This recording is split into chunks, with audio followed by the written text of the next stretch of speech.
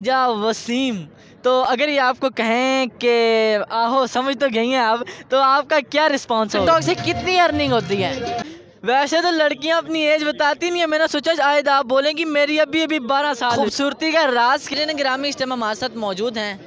ये किसी तारुफ के मोहताज तो नहीं है लेकिन फिर भी इनका तारुफ करवा देते हैं। हमारे साथ मौजूद हैं टिकटॉक के स्टार राजा वसीम। आइए इनसे बात करते हैं। अस्सलाम वालेकुम वालेकुम अस्सलाम। राय साहब कैसे हैं आप? अल्लाह पाक का शुक्र है मैं ठीक। टिकटॉक पे आपको किस तरह शौक आया कि आप जो है ना टिकटॉक बनाना शुरू हो गए?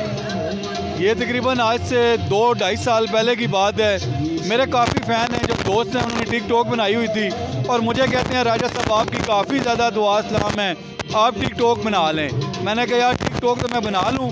मगर मुझे इसका लाइक करने का तरीका नहीं पता। थ्री स्टार मेरी जो टिकटॉक आईडी है। और उसमें मैंने एक वीडियो लगाई है जो शान साहब का डायलाग है, वो वीडियो काफ़ी वायरल हो गई है। मैंने दूसरी वीडियो लगाई है, वो भी काफ़ी वायरल तीसरी लगाई है, वो भी वायरल मेरी दुकान है राजा बाज़ार में हमारी मतलब कराकरी का हमारा अपना कारोबार है। मैंने तीन चार वीडियो लगाई हैं तो अवाम मेरी दुकान पे इतने कस्टमर नहीं आ रहे थे, जितने मेरे फ़ैन दोस्त मुझे मिलने के लिए आ रहे हैं। वो कह रहे हैं, राजा साहब, हमें दो साल हो गए हैं, ढाई साल हो गए हैं आपने तीन चार वीडियो लगाई हैं। ऐसा आपने कौन सा इसमें ऐसा काम किया है कि आपकी वीडियो लाखों में आपके व्यूज़ जा रहे हैं? मैंने उनको यही बोला है भाई, मैंने तो अच्छी वीडियो बनाई है।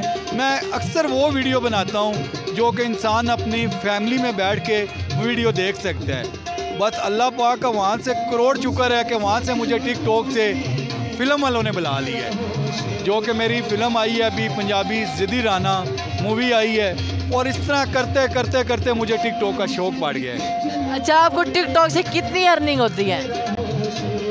ये बात ना पूछें।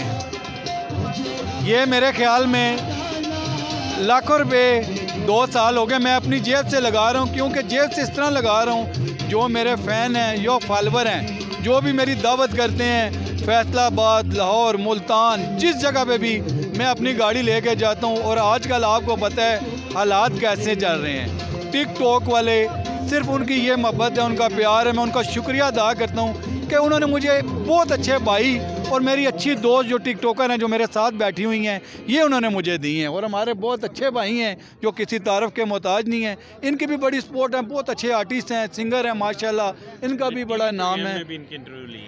अच्छा आप जो है ना आपका कौन सा पहला डायलॉग था जो वायरल हुआ है? बहुत ज़्यादा वायरल हुआ है जिससे आपको बहुत ज़्यादा खुशी अच्छा मैडम मैं आपसे पूछना चाहूँगा कि हमारे साथ मौजूद हैं टिकटॉक स्टार राज। अगर ये आपको कहें कि आहो समझ तो गई हैं आप तो आपका क्या रिस्पांस होगा? एक्चुअली वैसे तो मैं मैरिड हूँ तो मेरे बच्चे हैं लेकिन अगर ये मुझे ऑफ़र कराएँ तो मैं कुछ सोचूँगी ज़रूर एक बार।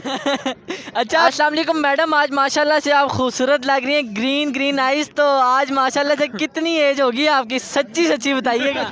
मेरी तकरीबन एज होगी थर्टी टू थर्टी टू वैसे तो लड़कियाँ अपनी एज बताती नहीं है। मैंने सोचा शायद आप बोलेंगी मेरी अभी अभी बारह साल हुई है। मुझे झूठ बोलने की आदत नहीं अच्छा आपको झूठ बोलने की आदत नहीं है? बोलना चाहिए ना यार। हमेशा सच बोलना चाहिए।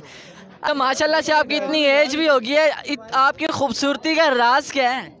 कोई राज नहीं है। इंसान को हमेशा के लिए जेलस नहीं होना चाहिए और तमाम जितने भी हैं दोस्त उनके साथ फ्रेश रहो। तो अच्छा जेलस होना नहीं जेलस होने से बंदा जो है ना जेलस होने से इंसान खत्म हो जाता है। जेलस होने से बंदा इंसान खत्म हो जाता है। आप बस आप खुश रहती हैं। मैं बिल्कुल फ्रेश रहती हूँ। आपकी खूबसूरती की यही राज यही राज है मेरा। नज़र ग्रामी, ये थी शबनम और इमरान की बर्थडे, जिसके अंदर मुख्तलिफ़ टिकटॉकर्स आए हुए थे और बहुत अच्छे अच्छे लोग आए हुए थे, सिंगर आए हुए थे। नज़र ग्रामी, ये आपकी वीडियो कैसी लगी? मुझे कमेंट बॉक्स में बताइएगा।